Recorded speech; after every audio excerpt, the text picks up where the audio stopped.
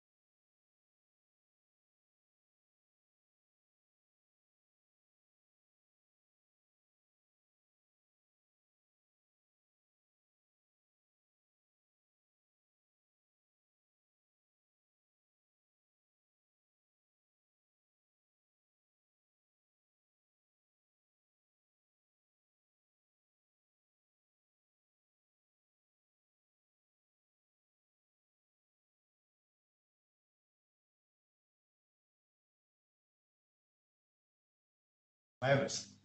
Uh, we've seen elements of fragility in our economy.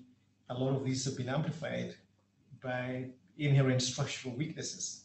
Uh, uh, uh the, the, inherent structural weaknesses have been amplified by the pandemic. If you look at some of the, the, uh, problems with aviation, for instance, with hospitality, uh, with our education system, for instance, the fact that we didn't move in earnest to make the investments in online and digital learning. Now our schools are closed children are suffering at home, uh, losing learning. Um, and when you come to the social cycle space, it's the same thing. Uh, we, we, we believe that there's certain underlying structural social weaknesses uh, in terms of support systems, support mechanisms, uh, but also just old stigmas that are now coming before uh, when we begin to live with reality that uh, uh, mental illness is a, is a conversation that we've refused to have for a very long time. Uh, there've been warning signs in, in, in many families uh, from substance abuse to domestic violence, uh, and all of these things should have triggered uh, some concern at the very beginning, but they haven't. Now COVID has laid them bare, and, and I think the, the conversation we're going to have today so you kind of digging into uh, the elements that help us construct some kind of uh, realistic understanding and, and appreciation of the role public health should play uh, generally in, in, in, looking at overall well-being and wellness of our citizens. Uh, how do we make sure that our care systems, uh, our homes, our institutions, places of work basically are alive and aware uh, of some of these uh, of some of these some of these problems. So I would like to welcome you to make your your presentation.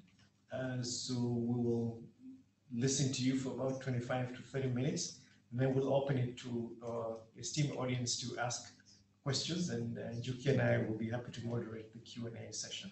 So Professor Lukoye, thank you very much and welcome. Thank you very much uh, for the opportunity to, um, I'm sorry, let me just uh, fix this.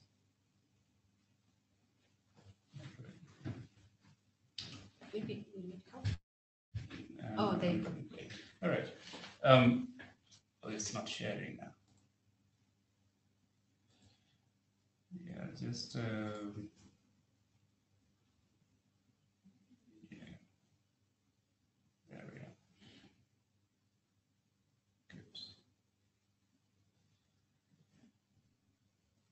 Yeah, um, so thank you very much for uh, the opportunity to discuss this important topic. Um, and it's something that I've been speaking about for several weeks since March when COVID-19 uh, visited our shores.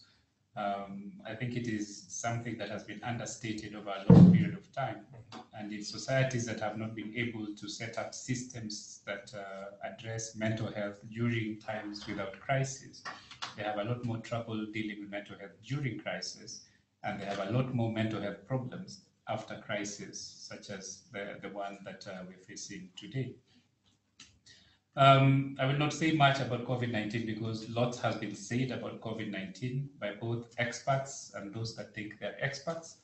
Um, so today I'll just focus a lot more on um, concepts of mental health, uh, including commonly used concepts like stress, distress, burnout, moral injury, um, and then look at what are the risks to mental health that are uh, presented by this pandemic uh, to, to us in this country, but also um, globally. After that, I'll also look at uh, the psychological reactions and uh, outcomes of uh, COVID-19, both at individual level, but also uh, speaking from a societal perspective. And then I'll spend a little bit of time on uh, coping uh, methods and what people can do in order to deal with this pandemic. I'm not sure the slides are moving.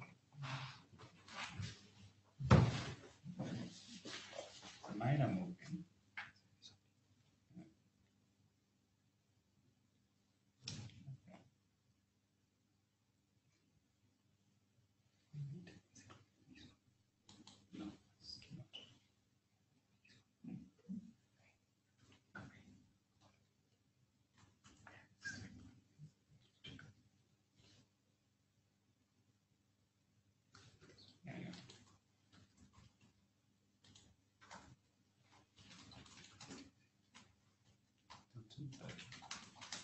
That's not the one, sorry.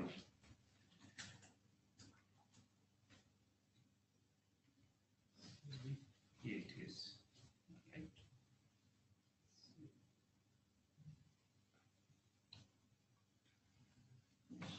Technology. Can't see the state country without There it. is- It just doesn't care Yeah. how important it is not to misbehave. It's not, yeah, Oh, there we are. Wonderful. Thank you. Um, so I'll, I'll, I'll, I'll dive right through and um, start by looking at what is considered to be stress. I think uh, in everyday conversation, we've had people talking about being stressed. And often, uh, sometimes when they speak about being stressed, often we uh, speak with them and we figure out they are not really stressed because uh, these are the things that constitute what one would call stress. So it's a tension that you experience when you encounter a threat, when the resources available to you for coping are inadequate.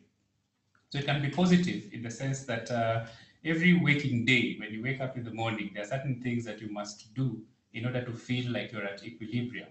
And if you don't do them, then you feel uh, something is missing. And each and every one of those things can be stressful to you. And so some of that stress makes you leave the house and go to work, and that's a good thing. Some of that stress makes you uh, move the extra mile to achieve certain things that you're supposed to achieve, and that's a good thing. And so that is positive because it prepares you to deal with the challenges of day to day life. But it can be negative when it is prolonged or when it induces what we call maladaptive responses. Uh, many people would have heard about fight or flee as a reaction to threats in our environment. And fighting or fleeing are adaptive responses, they are normal responses to stressful encounters. But freezing is not an adaptive response because when you freeze, uh, then the train will run you over. I mean, you or, or the lion will eat you if you're in the African savannah. So you have to do something uh, for it to be considered adaptive. The panel on the right of the screen shows you the symptoms and the parts of the human person that they affect.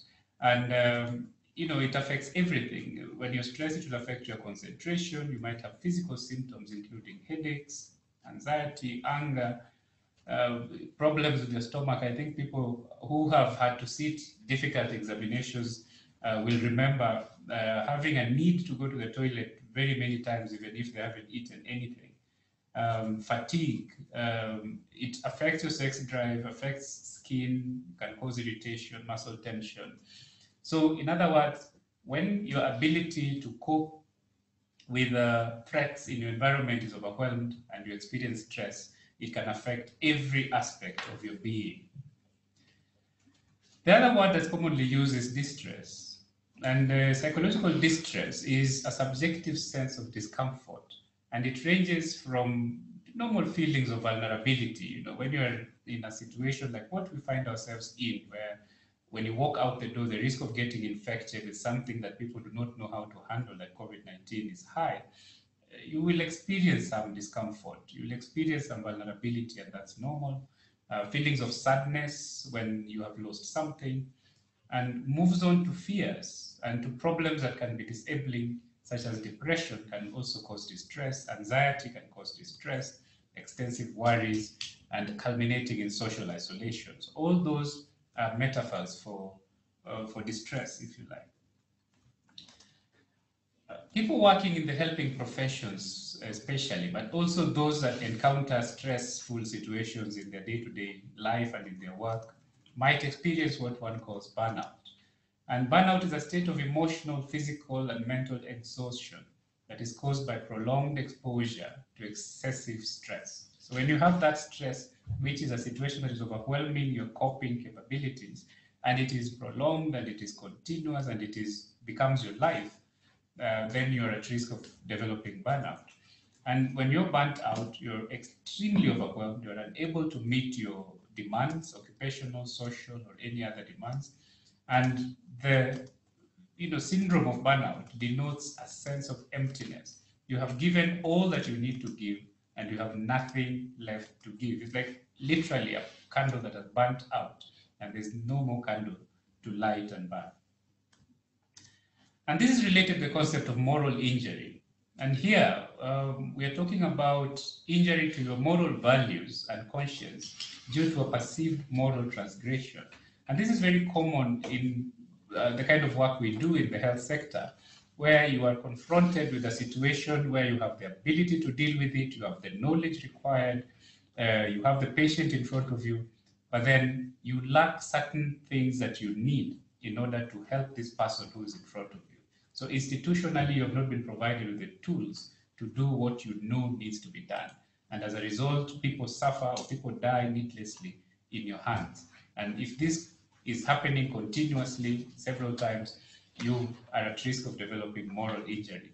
It produces a profound sense of guilt and shame that I could have done more. If only this had happened, I would have done it differently. It may also cause feelings of betrayal, and we've seen a lot of this uh, with the nurses, doctors, clinical officers accusing government, accusing the employers of betraying them and betraying the people that they're supposed to be helping. You'll see anger, moral disorientation, where somebody doesn't really know. Uh, you know, I've lived my life this long believing that this is right and this is wrong. Uh, was I right? Or was there something amiss in my uh, moral compass?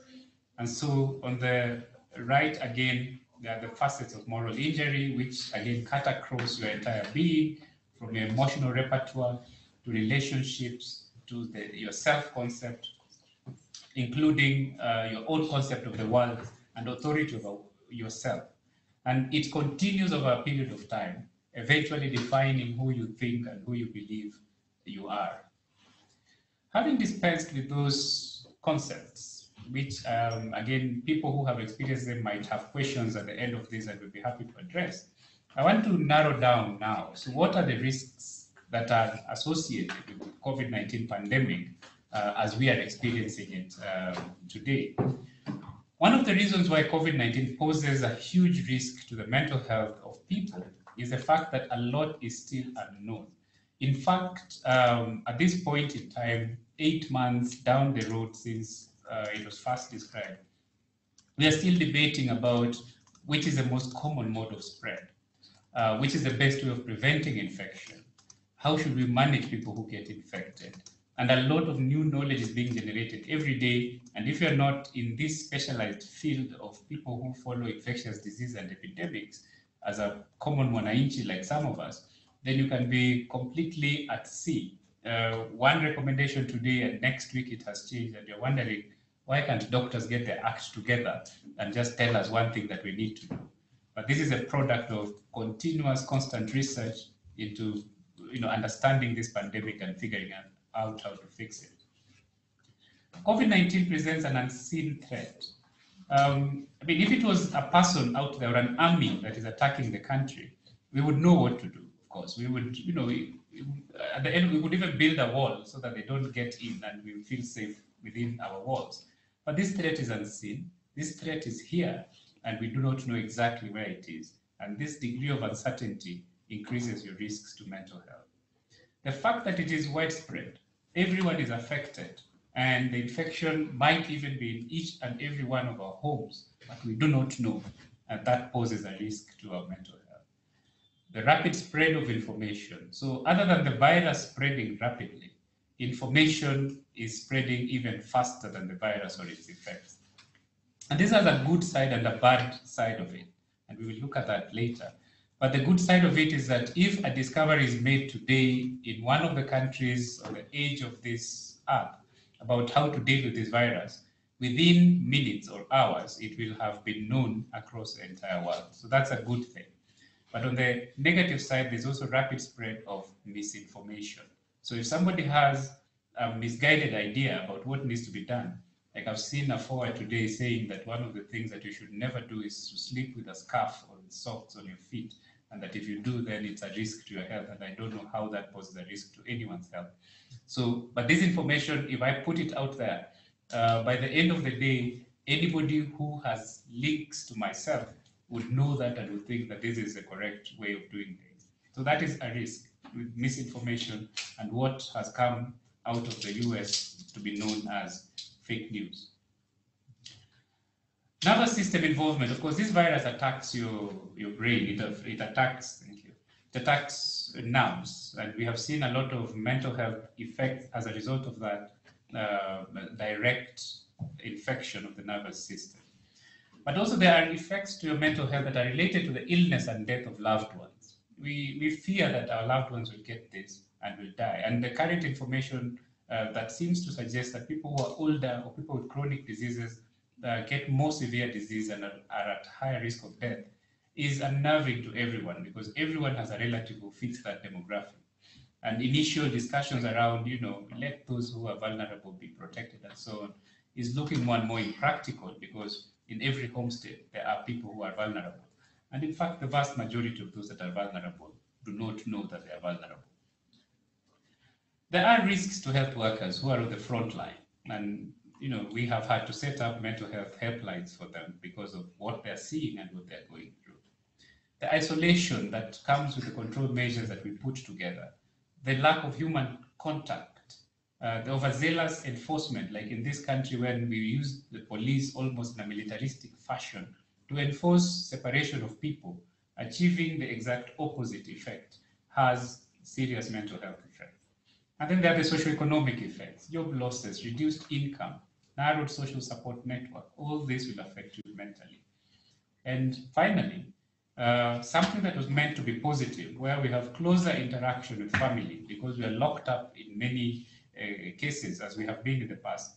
Uh, instead of increasing cohesion and making people happier, it is increasing the risk con of conflict and violence. And we've seen an increase in domestic violence as a result so these are some of the things we're learning as we go ahead um, in this pandemic.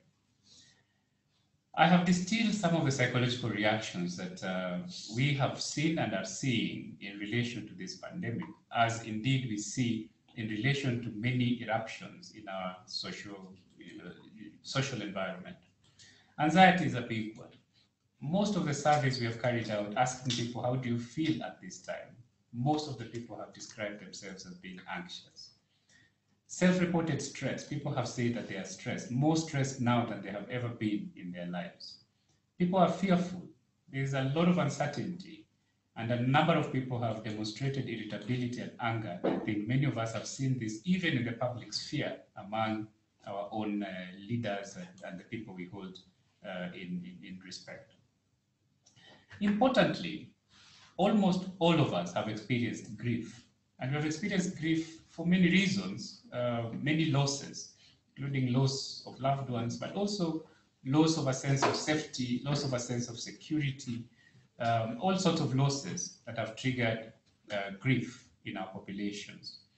And finally, one of the most important reactions, especially among people who are vulnerable, is that um, this situation can trigger pre-existing conditions and people are asking uh, do you mean um, there was less depression, or depression is increasing now, or is it just being uncovered? Uh, how is COVID 19 related to the high numbers of people with schizophrenia that we are now seeing? Partly is because these people were relatively stable, they had adjusted, but now with the coming of COVID 19 and the measures associated with it, it has triggered this pre existing conditions. I'll spend a few minutes discussing grief because this is the predominant emotion that most people are feeling at this time. And uh, several years ago, almost half a century ago, Elisabeth Kübler-Ross described what she then called the stages of death at that time. And she describes them as shock, anger, uh, you know, depression, bargaining, and acceptance. And she describes them in detail in, in publications that she put up at that time. But subsequently, people have seen that it is not only death that triggers this grief reaction. And indeed, it is almost any kind of profound loss that triggers this reaction. And a loss of a sense of safety, loss of your world, uh, the concept of how the world should work, can also result in grief. That's why then it's important for us to discuss these stages because everybody is along the continuum of dealing with this grief. And at the end of the day, the goal of navigating this continuum is to arrive at the final stage, which we call growth or finding meaning. And so people start out in shock and denial. And I think we have less and less of that now in this country, uh, as opposed to what happened in March and April, when everybody came up with all sorts of conspiracy theories about this thing that is only affecting other people. And I have never seen anyone who has been affected by it. And it's a method for government to make money and steal money and stuff to the current time when uh, almost everybody has seen someone who has been affected and therefore the narrative has to change. It goes on to anger when you realize that this thing is real, it is here, and there are certain things that could have been done to prevent it, and there are certain people I think are responsible for it, and people express their anger in different ways. This might sink into depression and detachment, and eventually then somebody starts climbing out of that and bargaining with the powers that be. Uh, those that are religious start bargaining with their deities. Uh, those that have proximity to, you know, people in authority find a reason to bargain with them in order to improve their chances in case they get infected. And we've seen people in this country who are struggling to install ICU units in their houses, uh, obviously thinking that in case they got sick, that this is the bargain they have uh, to improve the chances of survival. And finally, we arrive in a stage of acceptance. And when you accept that this thing is here with us, there are certain things I can do and there are certain things I can't do, uh, then you start exploring options, developing a new plan to cope and to deal with the situation.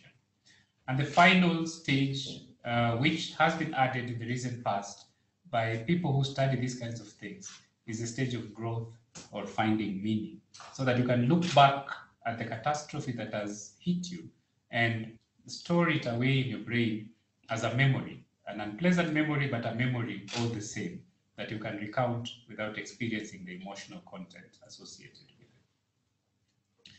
These are some of the psychiatric manifestations, mental illnesses that are likely to arise as a result of exposure to this pandemic. And depression is a big one. Uh, under normal circumstances, if you do a survey of the population, you might get 10 to 15% of the people who suffer from depression or who have had an episode of depression in their lifetime. In times of crisis, in times of uh, disasters, this prevalence increases significantly because they trigger episodes of depression. Anxiety is also very common, and all kinds of anxiety disorders, from panic, phobias, obsessive compulsive disorder, generalized anxiety disorder, all of these are common during these times of uncertainty. Substance use comes in because many people will turn to substances to deal with the anxiety, to deal with their depression, to deal with the uncertainty. And that then uh, results in a situation that uncovers people who are at risk of substance use disorders. Other chronic mental illnesses can also be triggered, including adjustment disorders, post traumatic stress disorder, and so on. Those with children will have noticed behavioral uh, changes, including exacerbation of exa developmental disorders like attention deficit hyperactivity disorder, autism, and so on. And as I mentioned earlier, it also affects the brain directly, and therefore, as a result of this attacking the brain directly, you might get uh, mental illnesses that result from that, like delirium and so on. It is time now for us to reflect a little bit on what is done. If somebody, um, majority of the people going through this uh, distressing situation, what should they do and what needs to be done to help them cope immediately as they start entering this uh, situation? And one of the most celebrated interventions globally for people encountering difficulties such as this is called psychological first aid. And the beauty of psychological first aid is that the providers do not need to be experts. Providers don't need to be mental health experts, they don't need to be doctors or um, trained providers. Anybody can learn to provide psychological first aid and can learn to provide this very quickly because it is repurposing things that we usually do anyway, but then providing them in a more uh, systematic way.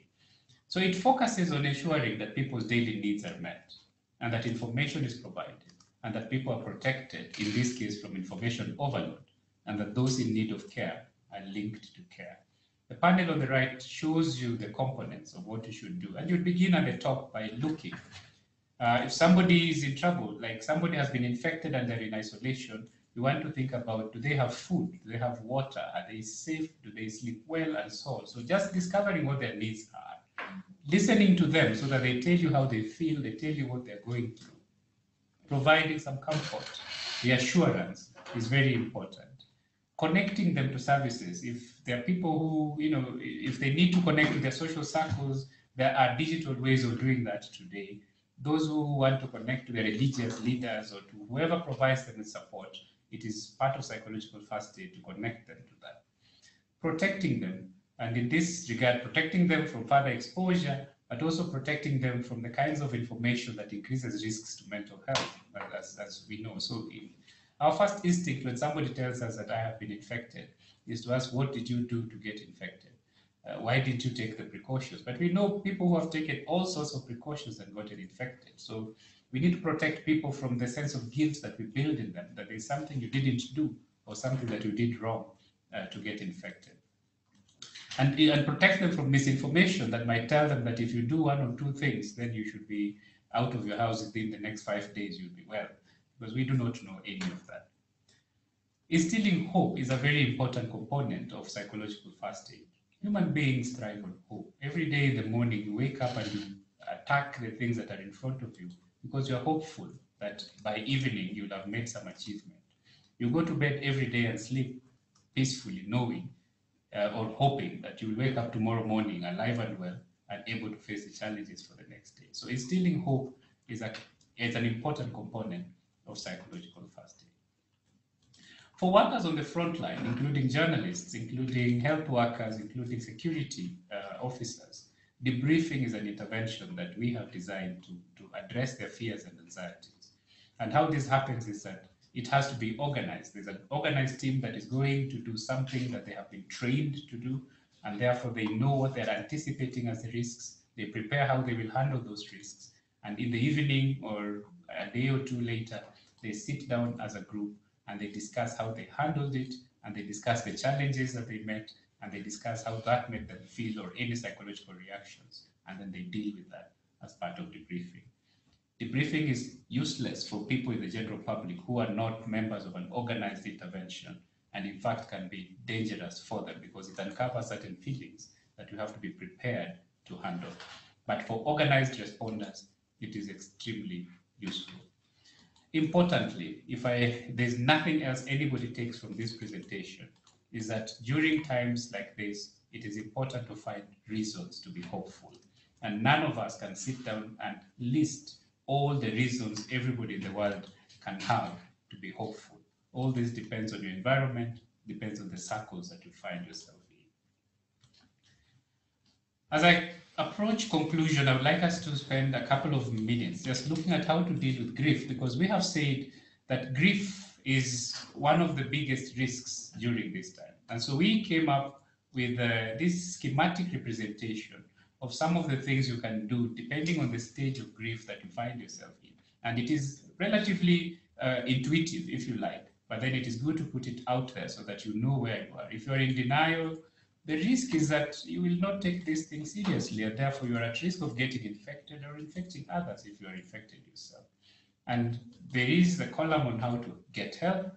Uh, make every effort to seek out accurate information. It doesn't make sense uh, to engage in long arguments about what you think is right and what you think is wrong, because at the end of the day, it is irrelevant what kinds of arguments you engage in if the information out there is at variance with the information that you have.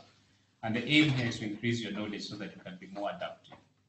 If one is angry, we know the obvious risks of harm and uh, it is important then to find a safe environment in which you can talk and express yourself, examine why you're angry, and find ways of redirecting the energy so that you can process whatever it is that you have lost and incorporate it into memory, and so on and so forth through the bargaining stage when you need a supportive environment, a listening ear uh, to help with coping strategies. Bargaining is not a very good coping strategy because you're sitting here bargaining with whoever it is you're bargaining with, but the virus doesn't listen to you. It's doing its thing.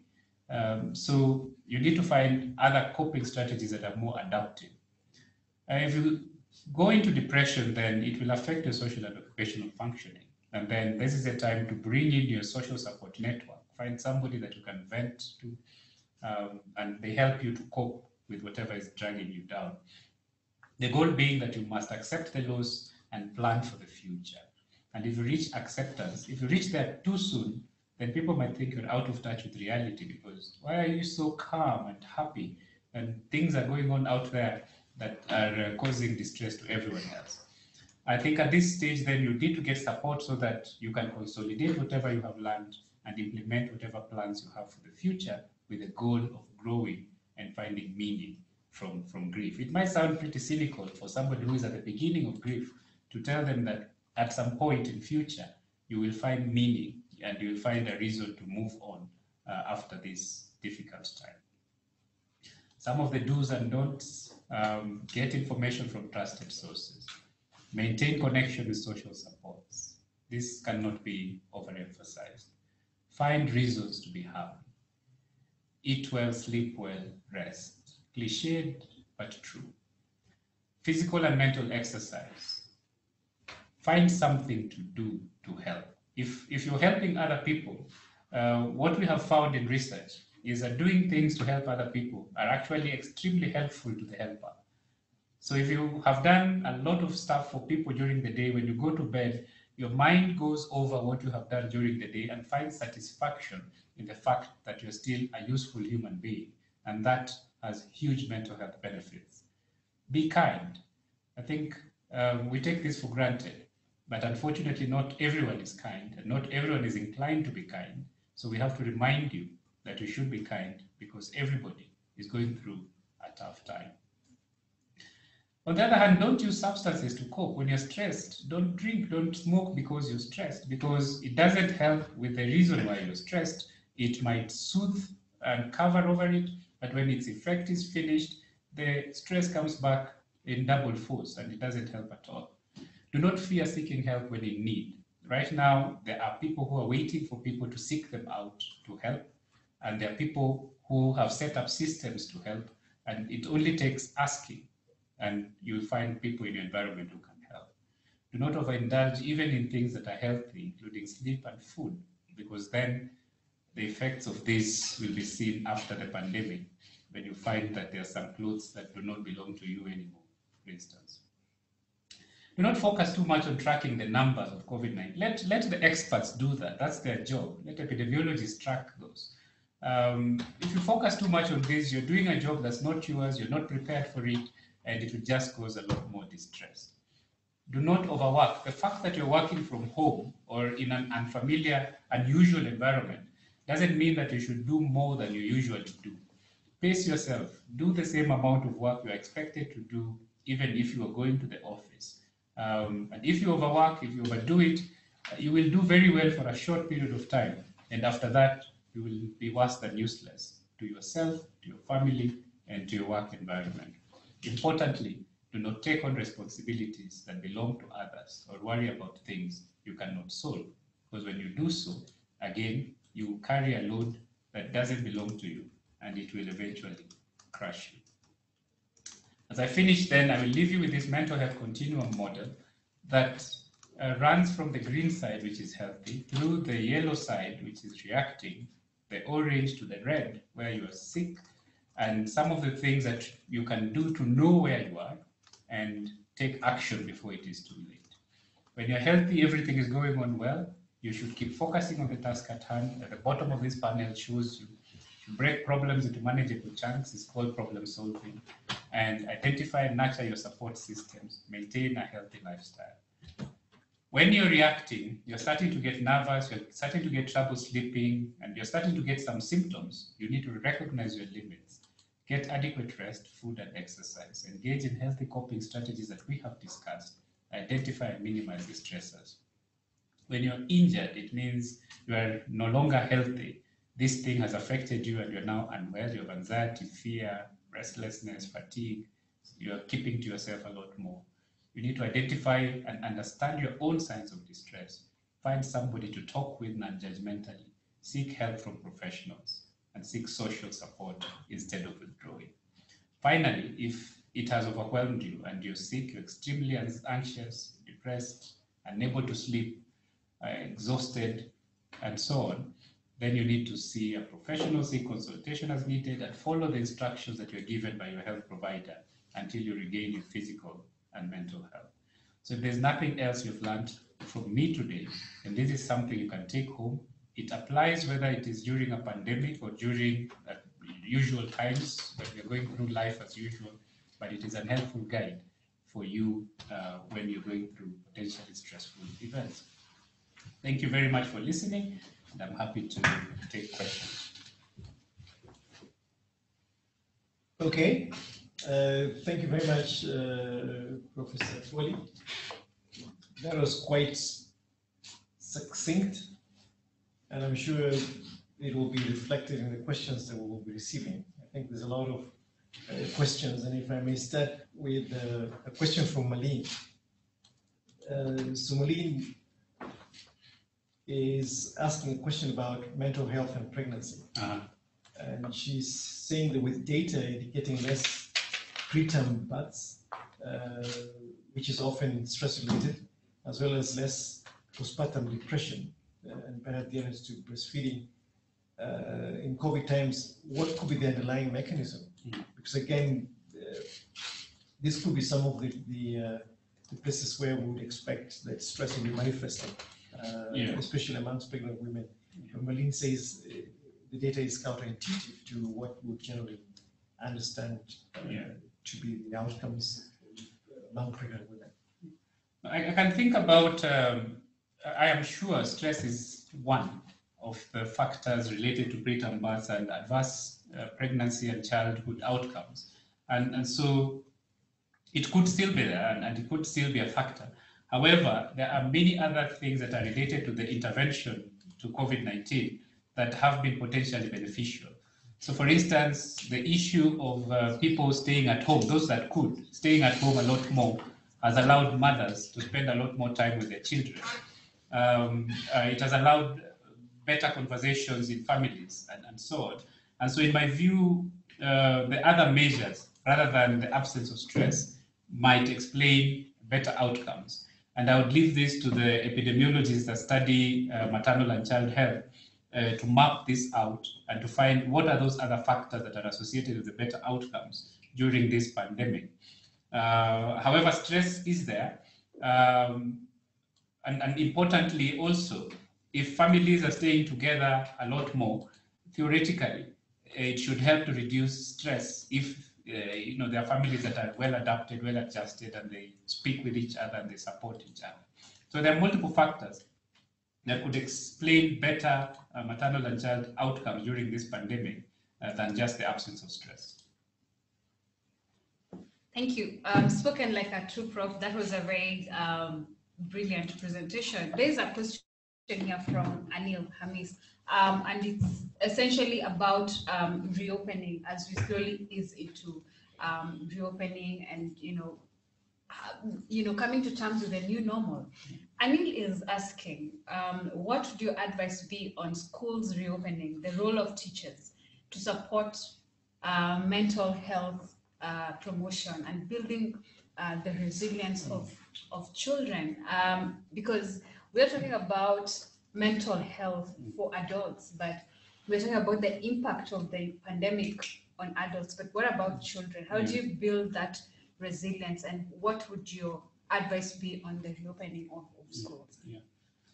So uh, two parts to this. The first part is what do I think about reopening of schools in general at this time? Um, it is my opinion that uh, when if if a, uh, government decided to close up things and uh, slow down things so that there's less physical interaction between the citizens and therefore reducing the risk of transmission, the decision to change that uh, should be based on multiple factors, including evidence that the risk of transmission is lower or that can be controlled based on the measures that have been put in place. Um, and so that is something that uh, whoever is making the decisions on closing and reopening needs to uh, take into consideration. And having said that, then I would say that if a system is completely closed and starts phased reopening, the very last institution to reopen would be schools, because schools cannot reopen uh, while public transport is restricted. Schools cannot reopen while uh, other group interactions are restricted. And therefore, whoever is making that decision must ensure that by the time schools are reopening, the public transport system, the economy itself, where to buy things, shopping, whatever it is that, that people do on a day-to-day basis, is also reasonably accessible so that um, it would mean that measures have been taken to deal with any potential surge that can uh, happen after reopening schools. And therefore, when children go to school, no matter what measures you put in place, children will mingle, children will, uh, you know, be close to each other. And therefore, we are ready to deal with that, the outcome of that, then we can reopen schools. And when we do that, uh, for the education sector, teachers and managers of schools, you must understand that it is not going to be a normal reopening of schools. You have to prepare weeks and months in advance before you reopen schools. And the preparation includes psychologically preparing the teachers so that when they go back, they are in a frame of mind that is less anxious and better prepared to deal with the anxieties that the children are going to bring to the school. So they have to be psychologically prepared themselves uh, and how to handle each other as teachers and managers of schools. And then they have to go through a preparation on how to deal with the anxiety that is coming with the children, because children are coming from varied homesteads, and some homesteads are a lot more anxious than others. And children's anxiety is infectious, both to other children and to adults in the environment who might not know what's going on. So this has to be very deliberate. There are programs, uh, some of which are available online, to prepare teachers on how to deal with children and the anxiety that children have when they come to school, how to answer questions around COVID-19 that children will have that increase their distress, um, and importantly, how to set up the school system so that it is closely linked to a health system in case there's an emergency related to this COVID-19. So I agree that uh, reopening is not a snap decision that you say we are reopening on Monday next week. It is something that you have to program and say we will reopen in the next two months. And in that two month period, we are preparing to be able to handle the psychological reactions of the teachers, the psychological reactions of the children, and the health risks that come with having children mingling among themselves and mingling with adults, some of whom you know might be coming from places that are high risk as well. So the next question, Lukoye, is directed to you and I. Mm. And uh, person asking the question is wondering whether there are any social or mental health benefits that have been triggered by COVID-19 and whether we are going too much on the other side and disseminating negative effects and ignoring some of the positive Mm. outcomes uh, Yeah. from this pandemic. So maybe you'll start and then I can jump in and ask some comments. Um, it's, it's, it's, it's, it's a good question, and um, it's, it's, it's a question that's very relevant now, but would have looked like a, a terribly morbid uh, question uh, under any other circumstances other than COVID-19. Because when people get and get sick and there's a threat to public health, it is often important for those of us in the health sector to look at the potential risks, potential harms, so that we can prepare them, prepare to deal with them, and, and ensure that they don't have as much damage as uh, they, they, they, could. And the reason is that uh, when we are planning, we plan and must plan for the worst. Even if we are hoping for the best, we must plan for the worst case scenario so that it doesn't happen. And the only reason it will not happen is because we were better prepared and because we planned for it. So many people who say that health people and public health practitioners are preoccupied with negatives, it is because necessarily by nature of their work, they must be preoccupied with the absolute worst outcome so that then they can tell you what you need to do in order to prepare for it. However, those uh, of us who do a bit of epidemiology and uh, follow, and I think you've heard also from uh, Marlene, uh, looking at some of the things that can be described as positive outcomes, including reduction in other uh, infectious diseases. I think the burden of other infectious diseases has reduced and hospital use in some places has reduced, hopefully because people are less sick, uh, because they're cleaning up a lot more. Um, and then most infectious agents travel from your hands to your face to your mouth. And if you're preventing that, then you reduce the risks. Uh, there has been a lot more public health awareness in the general population than would have been the case without a pandemic of this magnitude. So that's positive. There has been a lot of innovation in uh, the work environment, for instance, discovering that there are certain things that we have been doing at work that we don't really need to keep doing or that we can do differently and more efficiently. And this has come to light because of this pandemic. We have come to the realization of our connectedness as human beings and the fact that you cannot be an island hiding in a very rich enclave and that you will not be touched by public health threats. Uh, we have realized that what happens in Mathare slums affects the guy in Muthaiga. What happens in Fiji affects the guy in New York. And therefore, we have to worry about the health of everyone on the planet if we are going to be safe from pandemics like this. So there have been, there have been a lot of positives. And one another thing is COVID-19 has come like a, like what you call a cleanser, if you like, something that cleans off the grime, something that uh, opens up carpets that have, are hiding a lot of grime underneath. Um, so they have it has exposed a lot of the fallacies we've had, not only in the health sector, but also in our social interactions. It has exposed the lie that uh, you can leave public health to market forces, for instance. And it has emphasized the role of elected governments, why we elect governments, is to guarantee our health. And therefore, there has to be some collective contribution to protecting our health uh, rather than leaving it to what people call market forces. It has exposed a lot of these uh, fallacies in our developmental paradigm.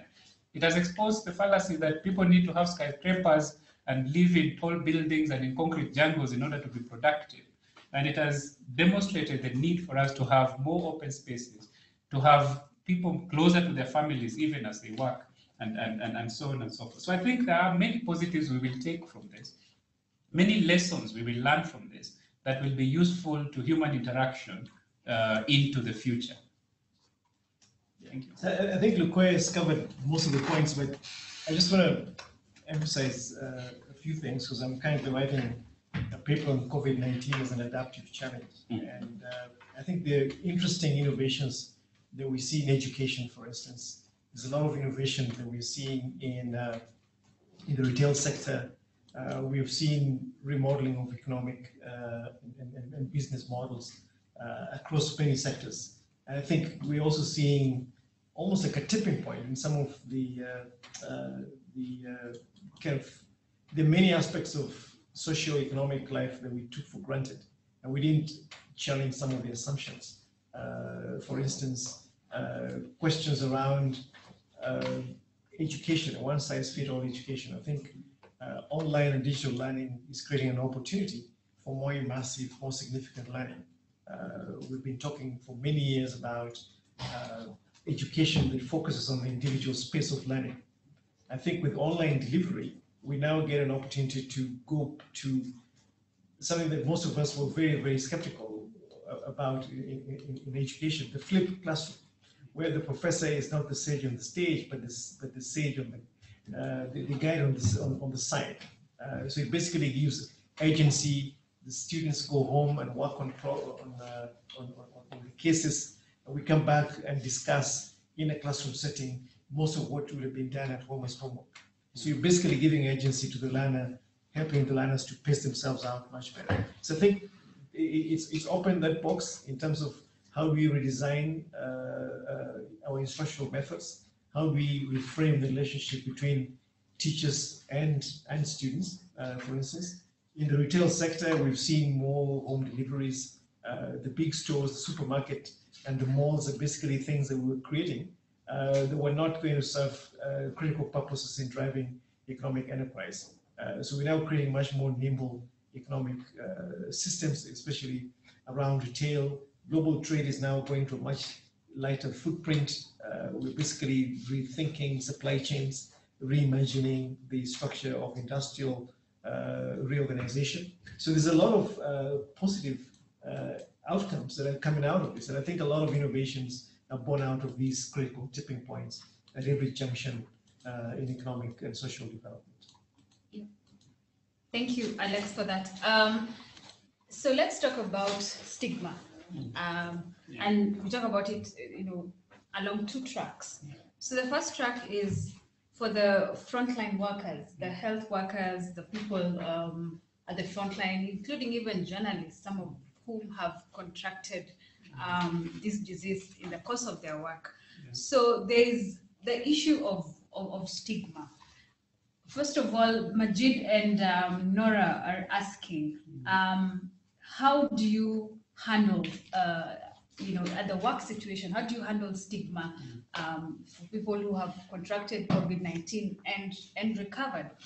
Um, so that's the first track as you handle stigma. Then the second track um, talks about um, mental health being considered a taboo in some communities. And we were just having this discussion with you and Alex and I um, when you're talking about mental health not yet being recognized as a public health um, issue. Mm. So this is really a taboo subject that you're talking about that COVID is making us to um, discuss it.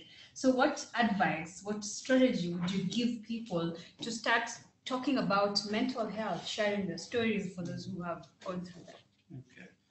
Thank you very much. Um, and yes, so stigma, uh, the study of stigma uh, for a long time uh, has been a part of what we do in mental health because mental ill health is a heavily stigmatized uh, area in our lives. Uh, so I begin with the first, firstly looking at stigma in general. Stigma is a, is a construct that is made up of uh, at least three components. And the first component of stigma is ignorance. Uh, people operating on lack of knowledge. So ignorance used positively, not, not as an insult, but as a fact that you do not know uh, about a particular subject. And so you operate from a point of lack of knowledge. The second component of stigma is prejudice, which might emanate from your lack of knowledge. And so you develop certain beliefs and certain attitudes about a person or a group of persons um, that might not, that is not useful in social interaction, and therefore results in the third component of stigma, which is discrimination. That is the behavioral outcome of, of the ignorance and the prejudice, where you now set aside people or groups of people and say that they are an out group and they're different from us, we're the in group, and they should be treated differently from us. So stigma is a product of that triad. Um, and it is true that in situations where there's a lot of fear and anxiety and uncertainty, the stigma thrives because there's less knowledge, um, people have formed attitudes in the past which they then plaster onto this new uh, situation they find themselves in. And in the belief that they're keeping themselves safe, they might start discriminating against others. And so among health workers, we are seeing uh, health workers on the front line who are getting infected uh, with COVID. And uh, then they go home or they, they are treated and they recover. And when they come back to their workplaces, some of their colleagues are treating them uh, differently in a discriminatory way. Um, and yet, we've had this discussion before that COVID 19 is an infection. And when you get the infection and recover, chances are that you have some degree of immunity, even though we don't know how long it will last and how much it protects. But you're different from a person who has never been infected with COVID 19 in the sense that you have some degree of immunity. In that regard, then, it is my thinking that a person who has been infected and recovered is safer, way safer than somebody who either has not been infected or who has not been tested. So we do not even know your status. And so if there was going to be any segregation, I would be putting people who have never been tested or never been infected aside until I discover whether they have been infected or tested. And then we deal with them uh, going forward. And so it doesn't make sense in the health setting to treat your colleagues who have been infected differently. In fact, they're very safe, and they're the ones who, in my view, uh, should be uh, advising the rest of us on how to deal with, with this pandemic. Uh, coming to, and, I, and I, I think the strategy in the public sphere on uh, stigma against COVID 19, the strategy must address the three pillars that I mentioned. So, where there is ignorance, we must flood knowledge. That is, we must give information that is accurate, information that is timely, that addresses concerns and fears of people, and that starts chipping away at stigma. Where there's prejudice, we must model the desired behaviors and desired attitudes. And so you've seen uh, the ministry officials when they're making announcements. Uh, one would expect that because they're influencers in the traditional sense of the word, that they should then model the behaviors that people should, should engage in. So if you hear a high, gov- high-ranking government official calling a person who has been infected COVID-19 a victim, they're perpetuating prejudice. If, if, if you know, calling, uh, saying that somebody is transmitting this virus, you're perpetuating prejudice rather than thinking about somebody contracting it on the other hand, and so on and so forth. Where discrimination comes in, uh, you deal with discrimination by having clear codes of conduct and having clear ways of interacting that discourage uh, discrimination. In our societies and traditionally, one way of doing this was through creating taboos. Uh, these are positive taboos, like if somebody has been infected and you treat them differently, you're doing something wrong. Uh, so those kinds of taboos that uh, discourage people from treating people badly uh, will come in handy in, in, in, the stigma against COVID-19.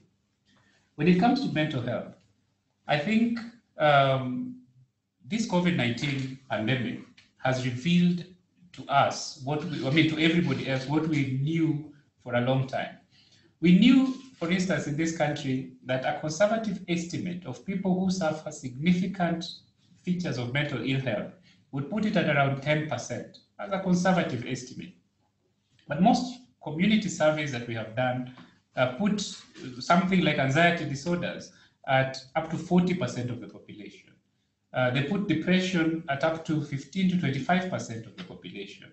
They put more severe uh, mental illnesses like schizophrenia and bipolar disorder at 2 to 3% of the population. Any other condition, if it had physical stigmata, physical features, would have been taken as a crisis. But because these mental illnesses happen hidden in our inner world of being, they are not considered to be a public health problem. It is my view that, and I have said this publicly, that we need to worry about this because there are many people in positions where they're making very important decisions that affect every one of us, and we do not know their mental health status. And they fall in the same category of 10, 15, 40% who will have some features of mental illness in their lifetime. We must worry about this because the effects are not only on the individual, but they're on society as, as a whole. We must make it easier for people to talk about their mental health. We must uh, make it such that if somebody is feeling low, they can say, Today I'm feeling low, and that's okay. It's okay to feel low because people feel low every once in a while. And if it is overwhelming you, to be able to say, I am feeling a bit overwhelmed, I need help, and that should be okay. The same way, if I broke my arm, I can go to a colleague and say, I broke my arm and I need to, to get some help. So those conversations um, need to be encouraged. Those conversations um, need to be had. And, and institutions like uh, AKU, institutions um, like government, ministries, and departments must have forums where people can go freely and discuss their inner world of being and their mental health without being judged and without being treated differently. That is the only way that we're going to chip away at the stigma that is directed towards mental ill health and the stigma uh, against some of the challenges that we get uh, in, in, in our day-to-day life. So a question from Joyce Wangu is on the, uh, the daily COVID updates, Yeah. uh, the numbers, Mm. the CAS and PAS and CAS uh, keep serving the public, Mm, mm. and, and whether these are part of the the, uh, the the amplifiers of anxiety, Okay. and should we not provide this information Okay. or if we should, how should we provide it to make sure that it, it, it does not uh, unduly amplify the levels of anxiety, Yeah. even though it's information that we need. Yeah. I think this has been a recurrent question in, in many conversations around COVID 19. It's been a recurrent question that uh, should government continue providing this information, which for some people it is exacerbating the anxiety? And I answer it in, in, by looking at information as a product that has a producer and a consumer. Um, it's just like water. It's coming from somewhere and somebody uses it. It's just like milk. It's coming from somewhere, somebody uses it. So if you look at information in that regard, then you cannot argue that there's too much information. The information is available for those that want to consume it. And therefore, it is important for those that have information, especially around this pandemic, both about its magnitude, the risks it uh, poses to us, uh, the harms, and, and what government is doing to deal with it, what other individuals are doing to, uh, doing to deal with it. It is important that this information is available to those that want to consume it. Anxiety is exacerbated on the consumer side rather than on the producer side. So we, as consumers of this information, must ration how much of it we are consuming, because too much of it will definitely cause anxiety. And since we know the sources of that information and we know the media in which that information is being provided, we can ration our consumption of that information by only going to their sources or the media when we need an update ourselves. So we can go and check, we can decide that I'll be checking once a day on the Ministry of Health website to see how things are going. And then you go on with the rest of your life. You can decide I'll be tuning in during the Ministry of Health updates and listening, and that's all the COVID information I'll get in the day. Another person might decide that in the morning he's tuning in to CNN, he's tuning in to Al Jazeera, uh, he's tuning in to KBC, and tracking this online and so on, and that person would consume more than he can handle. Therefore, it is a consumer that needs to pace themselves. I would urge government to be as transparent as possible, to give as much accurate information as possible, and to have it in multiple media where people can access them when they need that information. That is not overload. The overload is on the side of the consumer. If I go and make a huge ugali in my house and I eat all of it and get a tummy ache, I cannot accuse Unga Limited of producing too much Unga. It is myself who is not pacing myself. So that's how I deal with it. Okay. Yeah. Um, so we're talking about social and physical distancing. Yeah. Don't go to house parties. Um, try not to club. Try not to meet your friends, and most importantly, um, don't go see your mom. She's aging. And so we have two questions here from Felicitas Ngunjiri and Nora Mathaka. Felicitas, mostly, uh, well, they're asking more or less uh, the same question. Um, so this social distancing can lead to loneliness, you know, isolation and all that, and which can, well, further lead to poor mental health. Um, what's your advice on that, especially for people who are not able to see their aged parents, relatives, Yeah. children, even for our parents who are not able to see us? Yeah. How do we handle this as a society?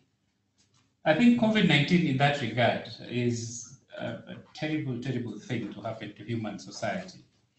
Um, I, I study evolutionary psychology and evolutionary biology, and uh, one of the things I have learned is that we as a human species have become successful and been able to spread across the face of the earth because of our ability to socialize, our ability to cooperate, and our ability to form social structures that then achieve more than an individual could achieve on their own. And we know that societies that interacted. So there, there was an evolutionary process where societies that were more cohesive and able to cooperate were more successful than those that were individualistic and uh, people lived on their own and so on. And over time, we have therefore evolved to have a very strong sense of social connectedness. And that has allowed us to achieve way more than we could have achieved individually. And therefore, COVID 19 threatens that connectedness. And that is why it is so difficult for us to conceptualize a world in which we stay apart from each other. And therefore, um, we know that this period has to come and it has to pass because we will not be human without hanging around in groups and doing things together. The first thing I do is to discourage the use of the word social distancing. Social distancing is discouraged. I encourage social solidarity. Social doesn't mean you're in the same physical space. Social means you're connected to other humans, no matter where they are, using whatever tools are available to you. So we are not encouraging social distancing. For social distancing would, would mean isolating yourself and not being in touch with anybody else. We do agree with the physical distancing for a time until you know we get a vaccine or until uh, this pandemic burns over, whatever. But we must retain the hope that a time will come when we are able to get together again as human beings and share the same physical space. Because without that, we will no longer be the humans we know today. And therefore, my advice is uh, find alternative ways of remaining connected. If you can't be in the same space physically, find other ways of remaining connected. And technology has come in to try and fill that gap. Um, you know, phone calls, Zoom, video calls, whatever it is, if that can at least reduce the distance between you and your loved ones, I think then you should use it. There's a nice story of a colleague of mine who got infected with COVID 19, had to isolate herself in, in her house, in her bedroom, and her children were in the next room, but they couldn't see her because of the risk. And uh, they innovated in the sense that they would have an evening when they go into Zoom and uh, share experiences and talk the same way they used to talk when they were in the same physical space. It wasn't exactly the same thing, but it was far better than no contact at all. So in my view, it is important to maintain human connection because without it, I agree with the people who are asking, without that human connection, we will disintegrate as human society. We cannot survive without remaining in touch with other humans. So the, the next question is uh, asking Dr. Lukoye your view on uh, including psychosocial support for discharge or recovered COVID-19 patients Mm. and their family members. Yeah, I think I think it is absolutely indispensable. Uh, in the past, we have argued that any health service that is set up must include mental health and psychosocial support as a core component of that health service. COVID 19 has shown that it is completely indispensable.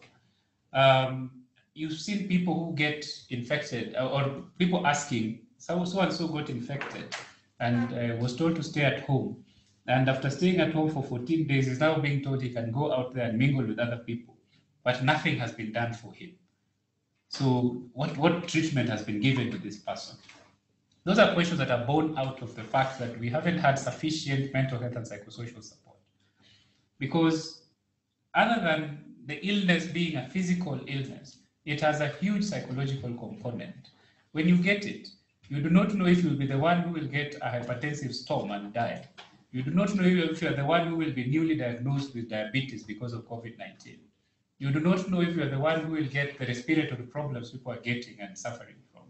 So that has a huge toll. And every day that you are told you are still at risk is a heavy load to carry for the average person. My colleague, who uh, also one of the leaders of the doctors' associations, also got infected and was in the house. And everybody would say, you know, he's strong, he can handle it. We had several conversations with him. And one of the things he said is that there are times he would wake up at 3 a.m., maybe with an itch in the throat, Yeah. coughing a little bit. And he would say, Here it has now come. 3 a.m., I'm alone in the house. What if I get difficulty breathing right now? Who's going to help?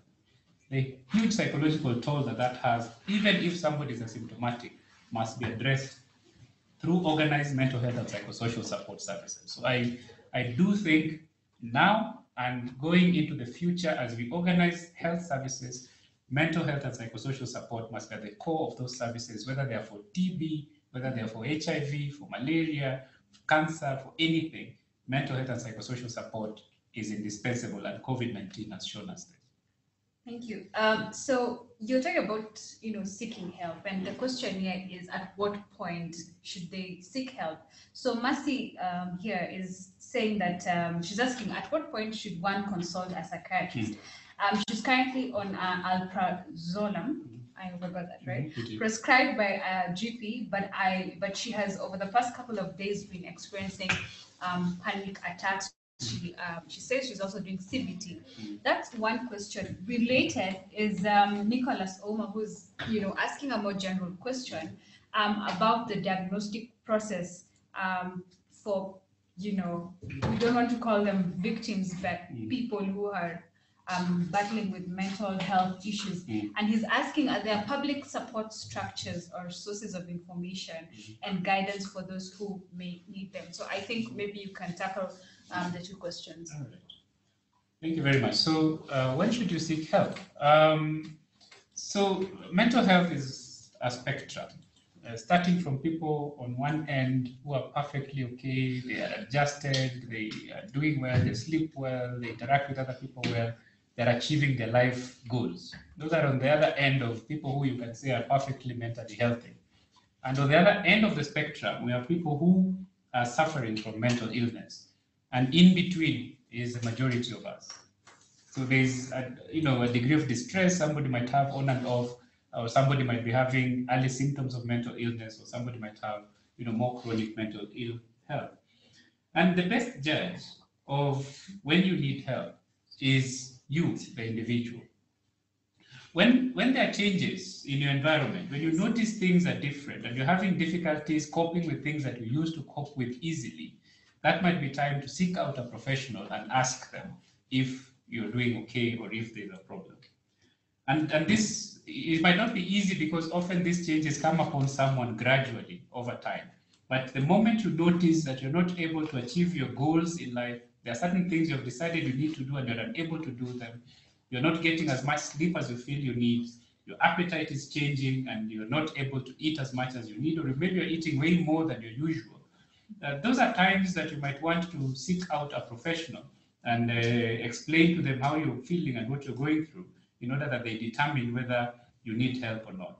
And when I say a professional at that stage, often uh, you can see, uh, uh, you know, a clinical psychologist would be able to make a diagnosis and determine what kind of help you need at that stage and whether you need to see a psychiatrist or not. If you have a psychiatrist available, if you see a psychiatrist, they're able to make a diagnosis and determine whether you need to see a psychologist or a counselor or whether you need to continue with care at the level of a psychiatrist. And so the system is meant to be set up so that whichever point you enter the system of care, you should be channeled to the place that has the solution for you. So, in summary, for me, looking at the mental health ecosystem, uh, it starts with yourself, understanding yourself, and being able to deal with some of the things that come to you using self talk, being physically healthy, uh, keeping your mind busy, and so on. It moves on to the family that is immediately around you, who would notice changes in you that uh, they find strange or find different from who you usually are, and they can provide early support by listening, asking if there's anything wrong, and providing support at that level. And as it goes uh, uh, further, you have a network of friends. If you have a social support network, they could also play the same role of an extended family. And then beyond that, then you would need then to introduce professionals. And we have counselors who provide counseling services. And counselors would help you to deal with the stresses of day to day life, the difficulties that you might encounter in day to day life. A counselor can help you navigate that by helping you to identify resources that are available to you that you can use to deal with those stresses of day to day life. As we move to a more, uh, you know, more distressing symptoms and, and, and, and events in your life, a clinical psychologist can make a diagnosis, uh, even if it's of a mental illness, and can fashion interventions that include psychological treatments, that is the psychotherapies, and advice on social interventions that can help you to get better. And then if this uh, becomes more uh, severe, then you would require intervention uh, of a psychiatrist who would also be able to make a diagnosis, would be able to advise on the psychological interventions required, but would also be able to advise on social interventions that are required. And ultimately, if any medication is required, then the psychiatrist is able to prescribe that medication. So that is a kind of ecosystem that is meant to be in place to support people who require mental health services in our society. Uh, often it is not set up perfectly like that, but that is the aspiration uh, that, that is there. In the absence of sufficient numbers of clinical psychologists, sufficient numbers of psychiatrists to cover the entire population, then we have the medical doctors or other general practitioners who have been trained to identify and manage or initiate management of common mental disorders in the population. And therefore, they should be able to help and then refer appropriately where they feel that a person needs more specialized care. I am not able to uh, comment about individual treatment plans, but uh, you know, cognitive behavioral therapy, medication, and so on are all strategies that are used to deal with a variety of mental health problems, as long as they're prescribed based on a diagnosis uh, that is verifiable and uh, their treatments for something that uh, you know is agreed between the practitioner and the patient, then they are legitimate. Um, that's as far as I can say about that. When it comes to the diagnostic process, I think I've handled a, a bit of that. But in Kenya, in the public health system, um, every public hospital uh, today is considered to be a mental hospital. So a person who is experiencing mental or psychological distress ought to be able to walk to the nearest county hospital or national hospital and be directed to a place where they can get help. So that is how it is set up. You might not get psychiatrists in every hospital or counselors or psychologists in every hospital, but you should have somebody in every each one of those facilities who can then link you to the service that you need within the public health system as well. And my expectation at uh, AKU, at, um, at, at our hospitals as well, and our health system, is that it also has a network where you can be linked to people to provide psychological services and eventually to psychiatrists when you need them.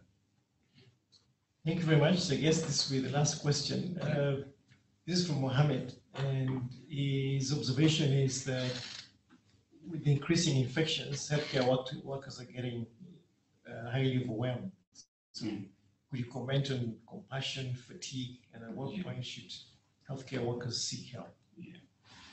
Thank you very much. I think uh, that's that's that's that's an important point uh, you raise. I think um, since the beginning of this pandemic, uh, we have characterized healthcare workers as the equivalent of soldiers in the theater of war, and uh, so they're at highest risk of getting infected. But then they have to be there, and they have to be there to help other people because this is what we are trained for. Uh, when we're training doctors, we don't train doctors, believe you or me, we don't train doctors to deal with uh, mild headaches and uh, to deal with uh, coughs and colds that will come and go and, and you know mild symptoms. Doctors are trained to deal with emergencies, and there's no greater emergency in our time than this pandemic. And doctors are trained to handle this. Everything else they do is usually in preparation for dealing with emergencies such as this. Uh, and the same applies to nurses. The same applies to any health worker who has gone through a training program. They're trained to recognize emergencies and to deal with them. So they're very well trained and they can deal with it. However, they're human. And being human, uh, they get to a point where their coping resources are overwhelmed, just like the normal other, other people. Their, their threshold might be higher, but it will be reached eventually, especially in the context of this pandemic. And therefore, as we set up services for health workers, we must recognize that they also get psychological distress. And as we send them out there to go and protect us and to deal with this threat, we have to put in place mechanisms to provide them with mental health and psychosocial support as well. For health workers on the front line, somebody is asking when should they go and seek help? Uh, they should seek help from day one. In other words, the system should be set up so that they have access to debriefing, they have access to mental health and psychosocial support uh, on a regular, ongoing basis. You should have a line that you can call and just unload and say, wow, today was a terrible day. I lost a patient. There should be a line that you can call and have a mental health worker on the other end to listen and help you deal with that challenge in the day. So when do you seek help as a health worker during this COVID-19 uh, crisis? From day one. And that means that those of us who are designing these services must then ensure that each and every frontline health worker has access to this kind of support. Yeah. So, um, just the very last question. I know you're running out of time, but it's not every day that we Yeah. um, have a conversation on mental health. There's a question here from Agnes Mugo who is asking, when should a COVID-19 recovered patient get worried? Um, now that you know there are reports that it affects the brain directly, are there any red uh, flags Mhm. that one should look out for? I thought that would Yeah, be quite yeah. important to address.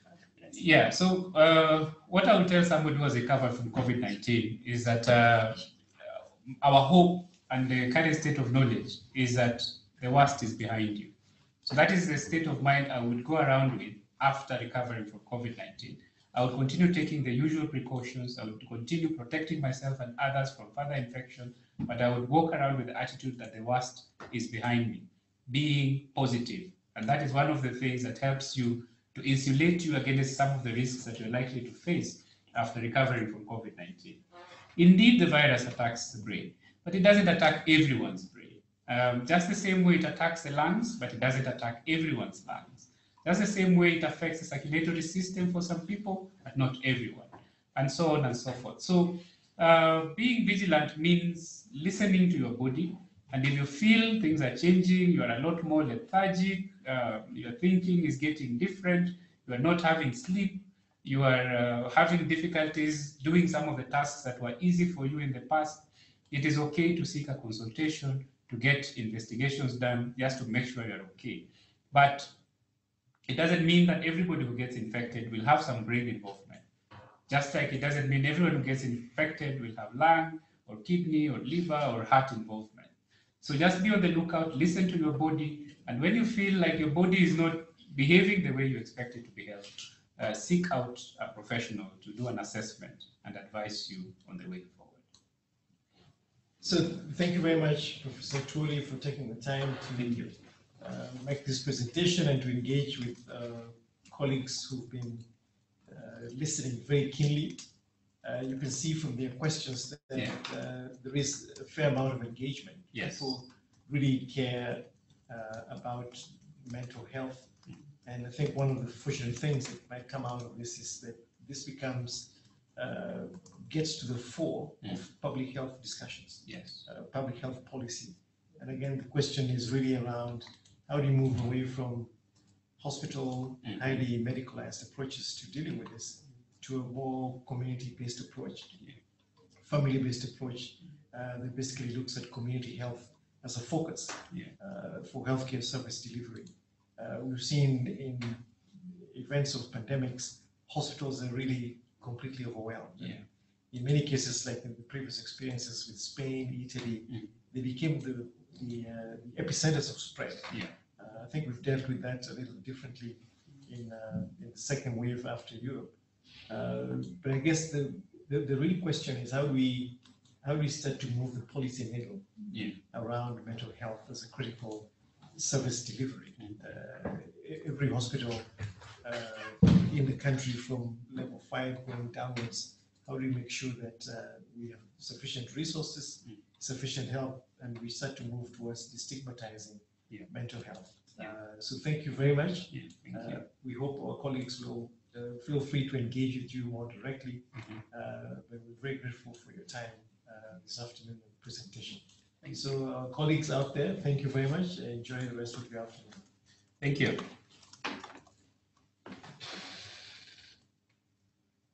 Okay.